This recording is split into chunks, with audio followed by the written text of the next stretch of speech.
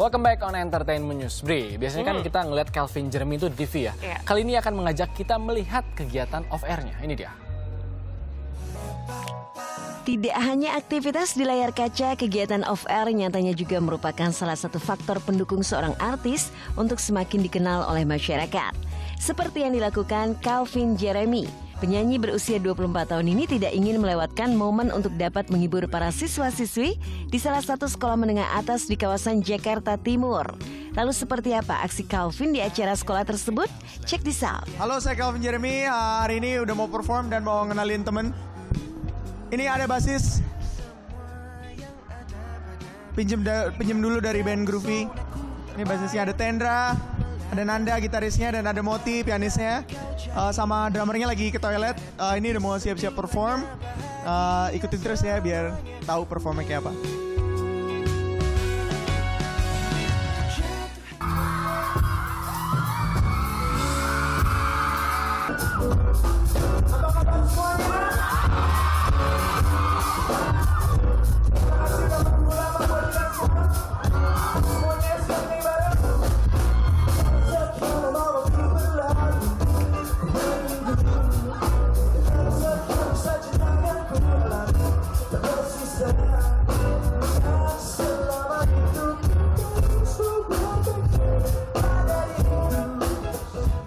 Ada 10 lagu yang dibawain satu jam lebih, satu jam 15 menit kayaknya. Seru banget karena eh, tadi bisa menghibur teman-teman lah gitu, nggak cuman sekedar perform, nyanyi, ngomong, banyak ngomong, cerita, tapi lebih ke engagement perasaan gitu. Iya mereka, aku surprise mereka hafal semua lagu meskipun yang tidak menjadi single Calvin Jeremy, mereka hafal gitu, luar biasa.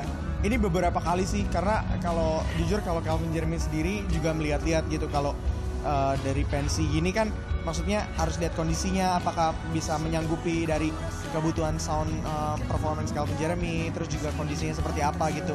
Uh, jangan sampai ya tanpa melihat kondisi terus tiba-tiba main nggak taunya malah suasananya tidak sesuai dengan kebutuhan musik Calvin Jeremy jadinya nggak nggak nggak maksimal gitu. Jadi pilih-pilih juga Teriakan dari para siswi pun semakin riuh ketika pelantun lagu Dua Cinta Satu Hati itu sengaja turun dari panggung dan bernyanyi di tengah-tengah penonton. Namun rupanya hal itu memang salah satu ritual yang biasa dilakukan Calvin untuk menciptakan kedekatan antara dirinya dengan para penontonnya.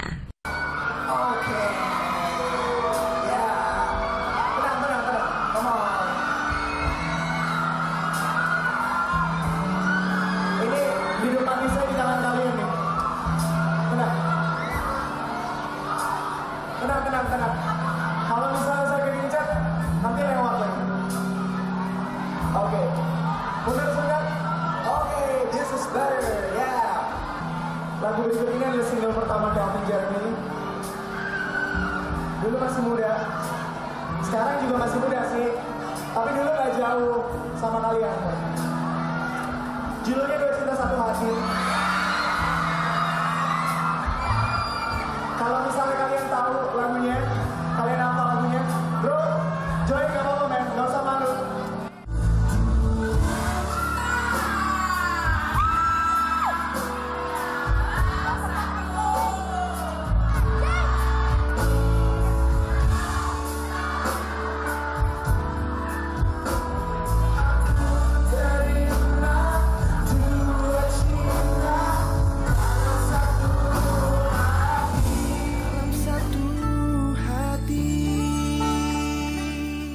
seneng banget ya karena ngelihat dari air muka mereka mereka semua senang jadi kayak wah gue seneng banget bisa memberikan kebahagiaan ke orang lain melalui musik.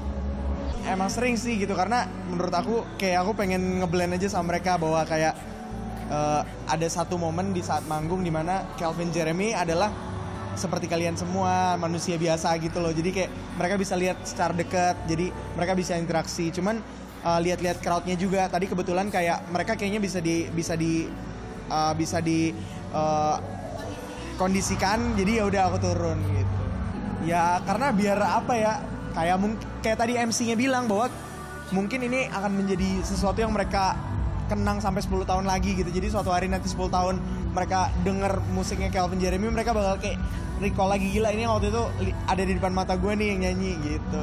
Oke, okay, good people, terima kasih udah ngikutin Calvin Jeremy performance tadi dari persiapan, terus udah mau turun panggung, eh naik panggung, terus turun panggung, terus sekarang kita ngobrol.